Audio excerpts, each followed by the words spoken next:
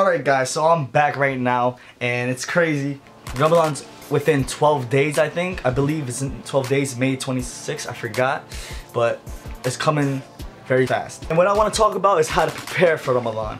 So I want you guys to take out your notebook and write and write some tips down right now. Alright guys, so one easy tip would be I would say this is a lot of people should do this. It's so much better for you guys because it's gonna be so much easier for you in Ramadan. So it's like, um, I would say fast voluntarily like the month before Ramadan. So you could do two two times every week on the like coming up to Ramadan. Like pick any days you want. I believe if you guys want to pick two days for fasting a week, those days should be I think I believe it's Monday and Thursday, which the Prophet did yeah, you should you pick any days you want, which is like easy for you. You don't have to do this, but it's just a tip to prepare for Ramadan. You don't eat too much, and yeah, it's gonna. It's not. Too, it's not hard. I mean, it's not too hard for some people. I mean, like a lot of people put in their heads that it's too hard, but some people have it harder than others. But let's just say it's a grind. You know what I mean? All right. So tip number two, I would say extra prayers. So it's not. I mean, just two rakats, you know what I'm saying? Like, not too, not, nothing too crazy, you know what I mean? You guys can do this. Tip number three, after you guys are done praying, you guys could just, you know what I mean? Like, you know, just make dua, you know what I'm saying? Just repent. Tip number four, the month before Ramadan, coming up while you guys are fasting and everything like that, you guys could like control what you eat and eat a lot less because a lot of people make this mistake.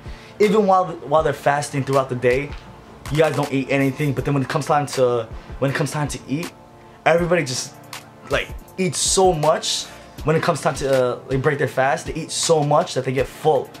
And even suhoor too, they do the same thing when you guys wake up in the morning. Suhoor is like, like even in the morning, people just wake up and they eat so much. When you eat so much, that makes you like, it's literally not doing, it's not good for you if you eat too much. Like people, you should not eat up to a part where you're full.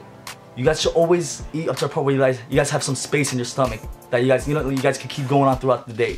Don't ever eat like people have that mistake where they eat so much that they fill up like their stomachs and they can't even move. You know what I'm saying? Like that's not trust me. That's not that's not. It's like it's a very thing. It works against you. Trust me. Like that that works against you. Eating too much works against you to be honest because you get more hungrier. You're, like you start craving more eat as less as possible trust me on this one and tip number five all right guys so it's literally like working out you can't just work out and like feel comfortable and you know what I'm saying and get strong. You guys gotta like warm your way up. You gotta do some push-ups. Like you gotta work work your way up. So like all these tips should be like boosting you guys up so you guys feel strong during Ramadan, you know what I'm saying? So like, that was like a, I think that was a bad example of what I just said, but I think you guys get what I'm saying here. Alright, so tip number five, work on your character. If you guys curse, curse a lot less. If you guys listen to music, try to listen to less music.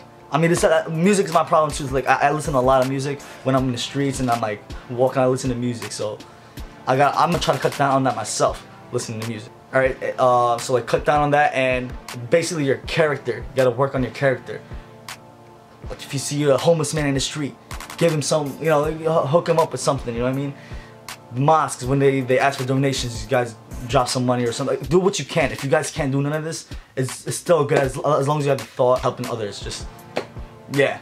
So good charity work, I guess. All right, so these are some quick tips I'm trying to help you guys to prepare for Ramadan because it's probably, I think it's about in 11 days. I'm not even sure from this video posting today, so should be in, a, I think about 11 days, I'm not sure.